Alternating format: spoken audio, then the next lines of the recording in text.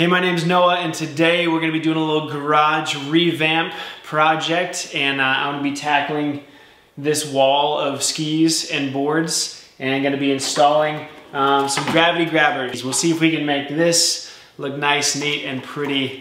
Let's go.